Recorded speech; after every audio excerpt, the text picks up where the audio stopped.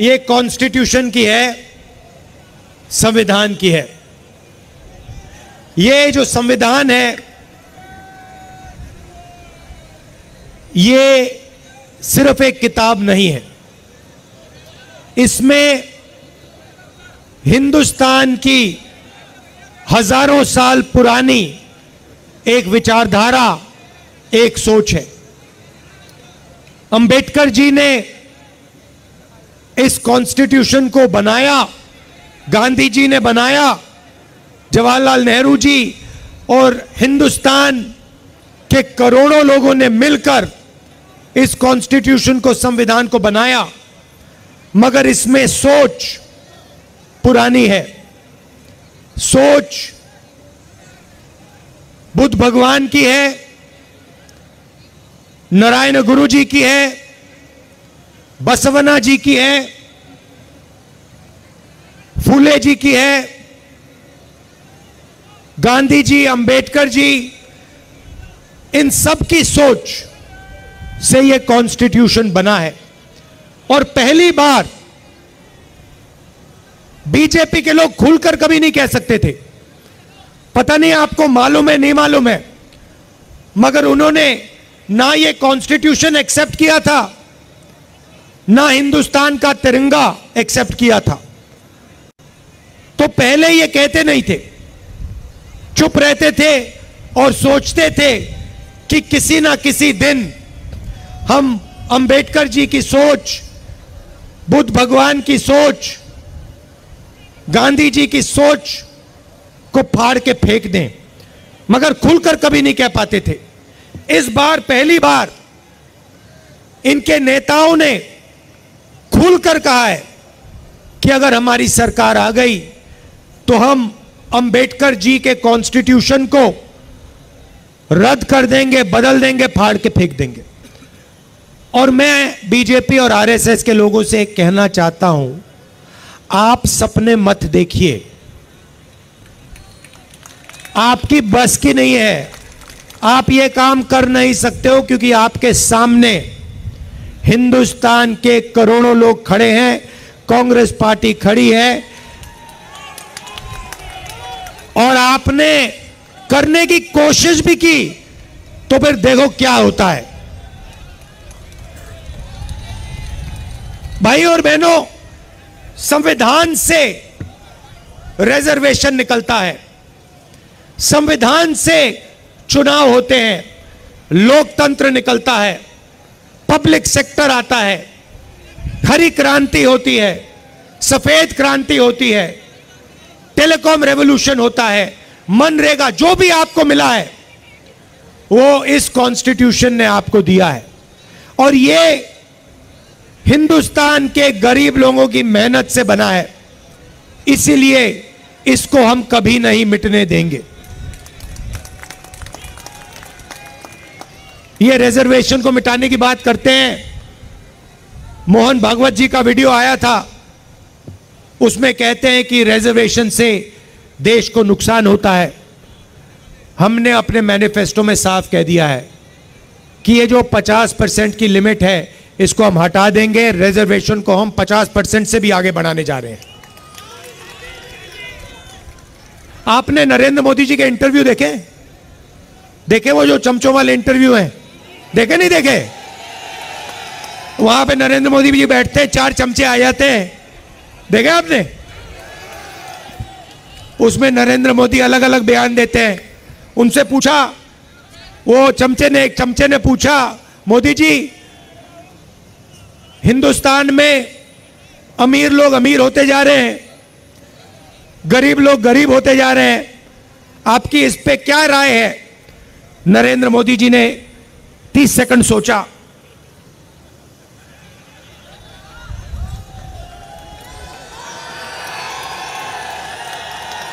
फिर कहते हैं, क्या मैं सबको गरीब कर दूँ? अच्छा देखो, कन्हैया है यहाँ पे। अब कभी कभी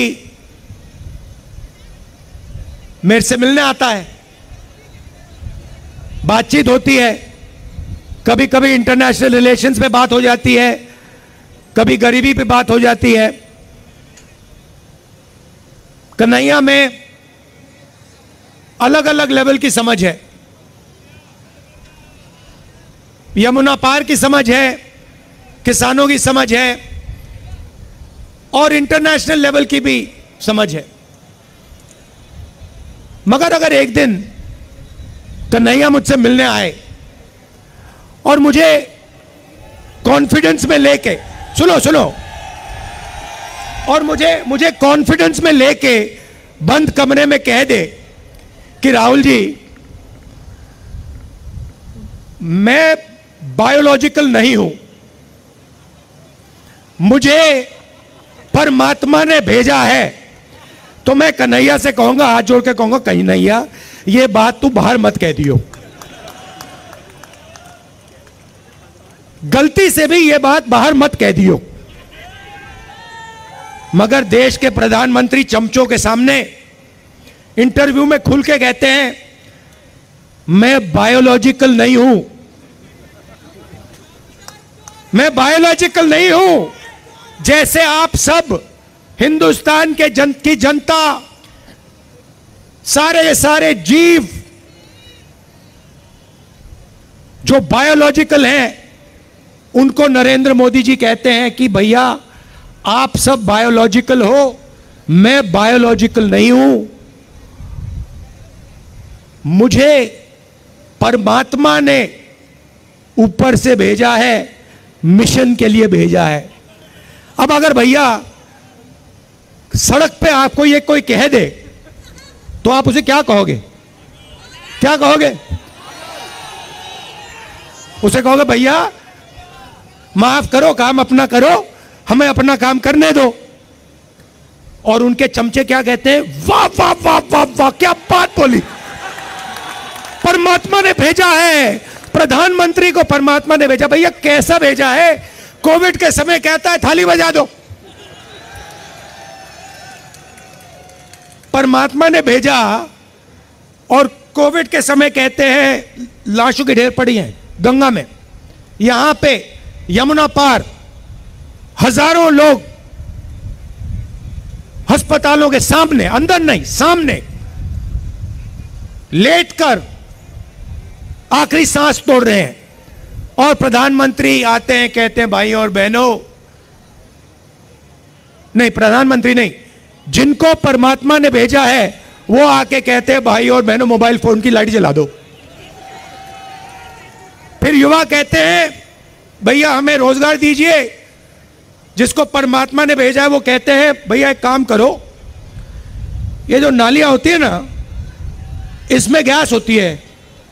एक पाइप लो, उसको नाली में डालो।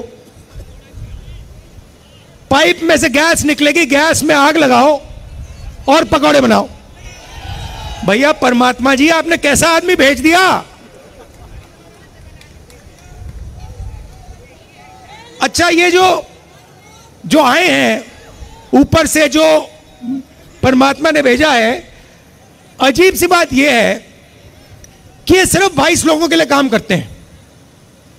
अदानी जी के लिए, अंबानी जी के लिए, वो जो भी चाहते हैं, दो मिनट में मोदी जी कर देते हैं। रेलवे चाहिए ले लो, पोर्ट चाहिए ले लो इंफ्रास्ट्रक्चर ले लो, अग्निवीर स्कीम चाहिए, चलो अग्निवीर स्कीम दे देते हैं।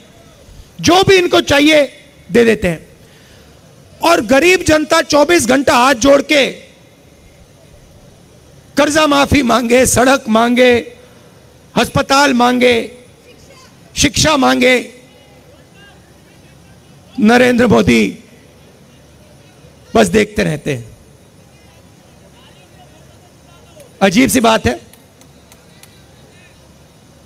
16 लाख करोड़ रुपया अरबपतियों का माफ़ किया है। 16 लाख करोड़ रुपया। आम आदमी समझता ही नहीं है कितना है। जितना पैसा मनरेगा में हमने एक साल में डाला, अगर आप 24 साल का पैसा ले लो उतना इन्होंने 22 लोगों का कर्जा माफ़ किया है। किसानों का 24 बार कर्जा माफ़ करो, हर किसान का कर्जा माफ़ कर दो। उतना पैसा इन्होंने 22 लोगों को दिया है। और देते जाते हैं, देते जाते हैं, देते जाते हैं। भैया, यमुना पार के बारे में आपने कभी मीडिया वालों को बोलते हुए देखा है? आपकी सड़कें दिखाई इन्होंने? ये जो कचरा पड़ा हुआ था बाहर, ये इन्होंने दिखाया कभी? मगर अंबानी की शादी तो दिखाते हैं। थोड़ी देर में ये भी कहेंगे कि भैया, हमें भी भगवान ने भेजा है।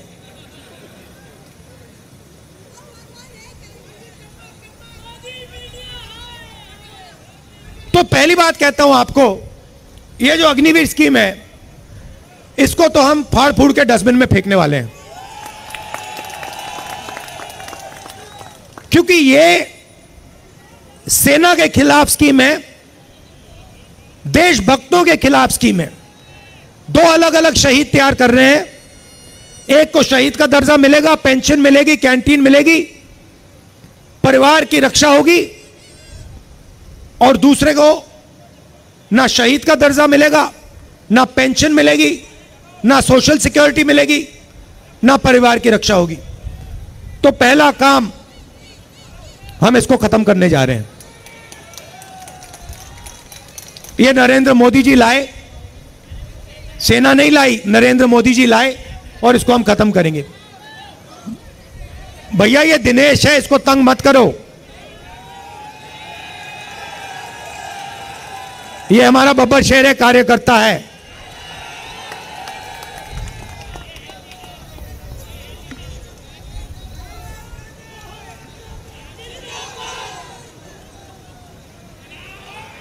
अच्छा। तो कांग्रेस पार्टी करेगी क्या? जितना पैसा इन्होंने अरबपतियों को दिया है, उतना पैसा हम हिंदुस्तान के गरीब लोगों को देंगे। आपने महालक्ष्मी योजना का नाम सुना है? सुना है? मैं समझा देता हूँ। चुनाव के बाद 4 जून इंडिया गठबंधन की सरकार बनेगी। उसके बाद यमुना पार में जो भी गरीब परिवार हैं, गरीबी रेखा से नीचे जितने भी परिवार हैं, उनकी लिस्ट बनेगी। दिल्ली में बनेगी। हर प्रदेश में बनेगी। करोड़ों लोगों के नाम आएँगे। और उसके बाद जो हम करने जा रहे हैं, मैं आपको गारंटी करके कह सकता हूँ कि आपने उसको सपने में भी नहीं देखा होगा। ऐसा सपना हिंदुस्तान के गरीबों ने नहीं देखा होगा। जो हम करने जा रहे हैं, जो, जिसको हम सच्चाई में बदलने जा रहे हैं। लिस्ट बनेगी, हर परिवार में से एक महिला का नाम चुना जाएगा। एक महिला का नाम चुना जाएगा और पाँच, चार जुलाई को करोड़ों परिवार हाँ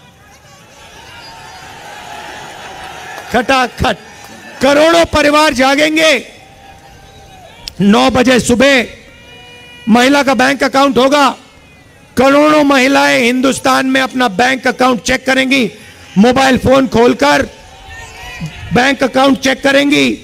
और उसमें महीने का खटाक से आठ हज़ार पाँच सौ रुपए। जुलाई, अगस्त, सितंबर, अक्टूबर, नवंबर, दिसंबर, जनवरी, फरवरी, चलता जाएगा कटा कट कटा कट कटा कट कटा कट अंदर। मैडम, आपका नाम क्या है? हा? इंदिरा। इंदिरा फैलो। तो Indira ji Indira fellow Justin Justin. ये यहाँ जो पुरुष हैं इनको मैं एक बात बताना चाहता हूँ। आजकल इक्कीसवीं सदी में आप सब काम करते हो आप जॉब करती हो लोग मजदूरी करते हैं कॉल सेंटर में कोई काम करता है ऊबर चलाते हैं आठ दस घंटे स्त्री और पुरुष दोनों घर से बाहर काम करते हैं। मगर फिर शाम को घर आते हैं लोग और महिलाएँ आठ घंटे और काम करती हैं। सही बात? अगर हिंदुस्तान के पुरुष आठ घंटा काम करते हैं, हिंदुस्तान की महिलाएँ सोलह घंटा काम करती हैं। देखिए, पुरुष बिल्कुल चुप हो गए, आपको बात अच्छी नहीं लगी मुझे सच्चाई है। इसीलिए इसीलिए हम आपके बैंक अकाउंट में साल का साल का एक लाख रुपया डालने जा रहे हैं। करोड़ों महिलाओं को लाखपति बनाने जा रहे हैं। करोड़ों खटाखट अच्छा आपने सुना होगा, आजकल जो भी मोदी जी से बुलवाना बुलवा लो। हमने खटाखट शुरू किया, उन्होंने अपने भाषण में खटाखट खटाखट खटाखट शुरू कर दिया। हमने उनसे कहा कि भैया, एक बार अदानी अंबानी का नाम ले लीजिए। दो दिन बाद मोदी जी अदानी अंबानी का नाम लेते हैं। तो जो भी आपका मन चाहता है, आप मुझे कह दो कि भैया मोदी जी से यह बुलवाना है। कांग्रेस पार्टी के बब्बर शेर बुलवा देंगे दो मिनट में।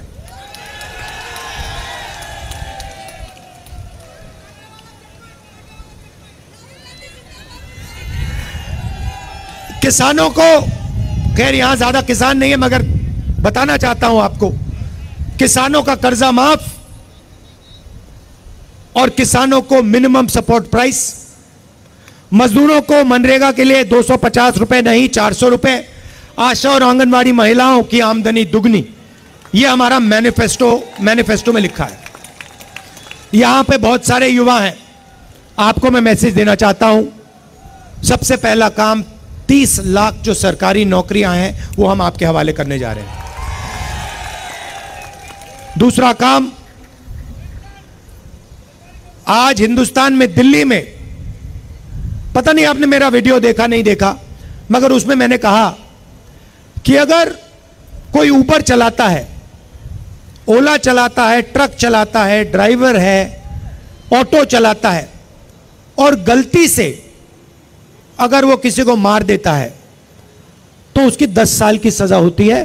पुलिस वाले हथकड़ियाँ लगा देते हैं, जेल में डाल देते हैं, मारते हैं और दस साल की सजा चाबी फेंक देते हैं। पूना में अरबपति का बेटा करोड़ों रुपए की गाड़ी चलाता है। अठारह साल की भी नहीं है, अठारह साल का नहीं है वो, सत्रह साल का है इलीगली चला रहा है। दो लोगों को वो मार देता है। जान से मार देता है। और उसे कोर्ट कहता है कि 300 शब्द का ऐसे लिख दो।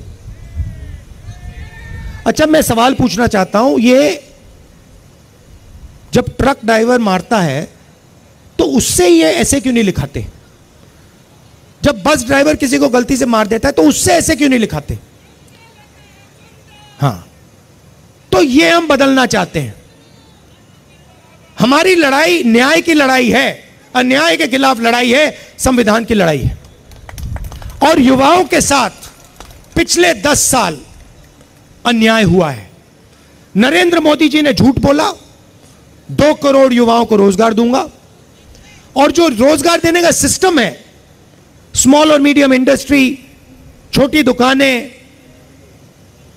छोटे कारीगर छोटी फैक्ट्रियाँ, उन सबको नोटबंदी और जीएसटी से नरेंद्र मोदी ने खत्म किया। क्यों किया? अदानी और अंबानी की मदद करने के लिए। क्यों? क्योंकि वो चाइना का माल हिंदुस्तान में बेच पाए।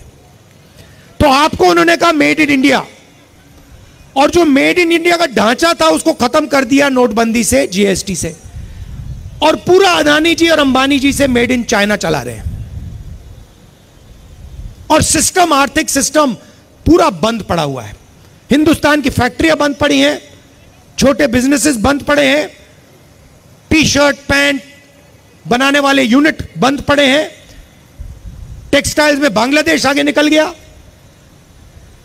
तो अब हमें यह बदलना है। सबसे पहले बदलने का तरीका मैं आपको बताना चाहता हूँ, जनता के जेब में पैसा डालना है। क्यों? खटाखट खटाखट, ये इसका मतलब यही है। जब मैं खटाखट खटाखट खटाखट कह रहा हूँ मतलब जनता के जेब में पैसा जाएगा। तो इसके पीछे सोच है। उन्होंने नरेंद्र मोदी ने, जी ने 22 लोगों को पैसा दिया। उन्होंने जाके दुबई में, अमेरिका में, जापान में, इंग्लैंड में, यूरोप में, फ्रांस में ज़मीन खरीदी, बिज़नेस खरीदे, वहाँ खर्च कर दिया। हिंदुस्तान को कोई फ़ायदा नहीं हुआ। अब हम आपके जेब में पैसा डालना चाहते हैं। महिलाओं की मैंने बात की। हज़ारों करोड़ रुपए हम महिलाओं को दे रहे हैं। युवाओं को भी वही हम काम करने जा रहे हैं। युवाओं जैसे महिलाओं को पैसा देंगे, अभी मैं आपको समझाऊँगा, एक सेकंड में युवाओं को भी देंगे। मगर इसके पीछे सोच है।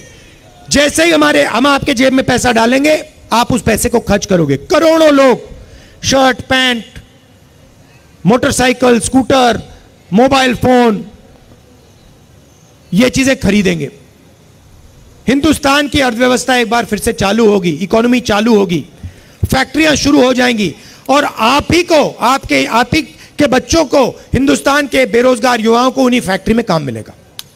तो चेन है। इंजन को हम स्टार्ट करना चाहते हैं, स्टार्ट करने का तरीका गरीबों के जेब में पैसा डालना है। उन्होंने इंजन को बंद करा, बंद कैसे किया? अरबपतियों के जेब में पैसा डालकर। अब युवाओं की बात करना चाहता हूँ। तीस लाख रोज़गार तो हम आपको शुरू में ही दे देंगे। मगर उसके बाद आपको हम एक अधिकार देने जा रहे हैं। पहली बार दुनिया की कोई सरकार ऐसा अधिकार दे रही है।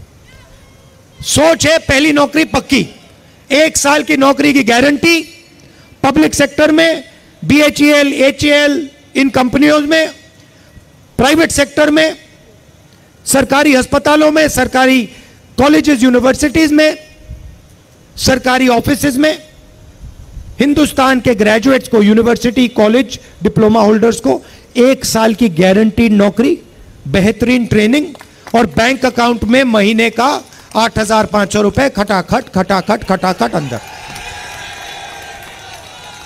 साल का, एक साल का एक लाख रुपया आपके जेब में। उसके साथ आप जो करना चाहते हो करो। मगर हम चाहते कि आप उसको खर्च करो। क्योंकि जब आप खर्च करोगे तो ही हिंदुस्तान की अर्थव्यवस्था चालू होगी चालू होगी, फैक्ट्रियाँ शुरू होंगी, फैक्ट्रियाँ शुरू होंगी, बेरोजगारी खत्म होगी। तो हम इंजन स्टार्ट करना चाहते हैं, जैसे आप स्कूटर में पेट्रोल डालते हो और फिर चाबी घुमाते हो। ये जो पैसा हम आपके जेब में डाल रहे हैं, किसानों के जेब में डाल रहे हैं, ये वही है पेट्रोल है अर्थव्यवस्था को स्टार्ट करने का। और आप ये किसी भी इकोनॉमिस्ट से पूछ लीजिए, वो आपको बताएगा कि हिंदुस्तान में अर्थव्यवस्था को चालू करने का यही तरीका है, और कोई तरीका ही नहीं है। तो ये हम करने जा रहे हैं, इससे करोड़ों लोगों को फ़ायदा होगा। भाई और बहनों, अंत में यह विचारधारा की लड़ाई है। ये चाहते हैं, नरेंद्र मोदी जी चाहते हैं कि हिंदुस्तान में जो 90 परसेंट लोग हैं, दलित, आदिवासी, पिछड़े वर्ग के लोग, माइनॉरिटी के लोग, गरीब जनरल कास्ट के लोग, इनकी कोई भागीदारी ना हो, इनकी कोई जगह ना हो। ये चाहते हैं कि हिंदुस्तान को जैसे पहले राजा महाराजा चलाते थे, वैसे ही इक्कीसवीं सदी में इक्कीसवीं सदी के महाराजा, राजा महाराजा चलाएँ। कांग्रेस पार्टी ने इसी के खिलाफ लड़ाई लड़ी थी। हम चाहते हैं कि हिंदुस्तान को, हिंदुस्तान का आम आदमी, हिंदुस्तान का किसान, हिंदुस्तान का युवा, हिंदुस्तान के छोटे दुकानदार, हिंदुस्तान के मजदूर, हिंदुस्तान के गरीब, पिछड़े, दलित, आदिवासी, गरीब जनरल कास्ट के लोग, ये सब मिलकर इस देश को चलाएँ इसीलिए ये इस पर आक्रमण कर रहे हैं, क्योंकि ये जानते हैं कि जब तक ये है, तब तक हिंदुस्तान के गरीब लोगों की आवाज़ है। और जिस दिन ये मिट गया, उस दिन हिंदुस्तान के गरीब लोगों की आवाज़ बंद हो जाएगी, मिट जाएगी, घुट जाएगी। तो लड़ाई इसकी है, अंबेडकर जी की लड़ाई है। मैं जानता हूँ कि आप सब एक साथ मिलकर पूरा दम लगाकर यहाँ कन्हैया जी को दिल्ली में हमारे कैंडिडेट्स को, आम आदमी पार्टी को, के कैंडिडेट्स को जिताओगे। आम आदमी पार्टी के कार्यकर्ताओं से कहना चाहता हूँ, आपको चार सीटों में आम आदमी का समर्थन करना है। तीन सीटों में कांग्रेस पार्टी का समर्थन करना है। कांग्रेस पार्टी के कार्यकर्ताओं से कहता हूँ, आपको तीन सीटों में कांग्रेस पार्टी का समर्थन करना है और चार सीटों में आम आदमी पार्टी का समर्थन करना है। और एक साथ मिलकर आप सब काम कीजिए। मिलकर काम कीजिए और साथ के साथ सीटों में बीजेपी को दिल्ली में हराना है। दिल से आपका धन्यवाद करता हूँ। आप दूर दूर से आए और इतनी गर्मी में आप आए। धन्यवाद। जय हिंद। नमस्कार।